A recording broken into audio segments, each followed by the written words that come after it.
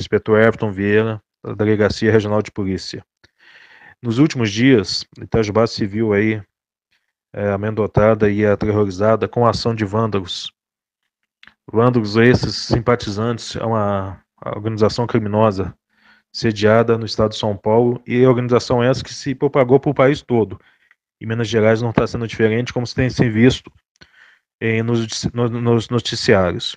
Em Itajubá, houve ação aqui, houve queima de ônibus, é, a Polícia Civil logo foi a campo, de promover as, as devidas investigações, e com, com isso conseguiu, até o presente momento, identificar três pessoas, três pessoas que estavam na coordenação dos ataques, sendo duas presas no bairro Canaã e uma que já se encontra no presídio de Itajubá, mas mesmo assim é, coordenava os ataques, juntamente com as duas pessoas que foram presas no bairro Canaã.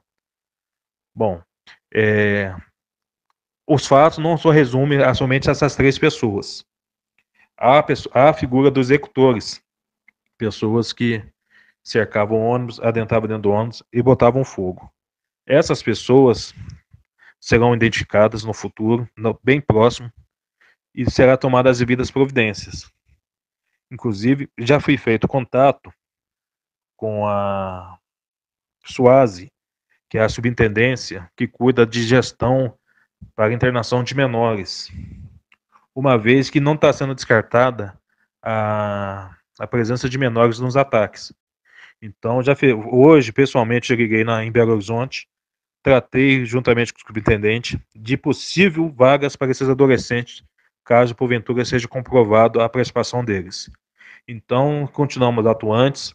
Espero que com isso a sociedade itajubense possa voltar à sua normalidade e que nossas vidas possam seguir normalmente, que tendo em vista que fomos acometidas aí uma crise de combustível, infelizmente já entramos em outra crise de atos de vandalismo. Mas esperamos ter dado a resposta a respeito desses fatos e permitir que a sociedade volte ao normal.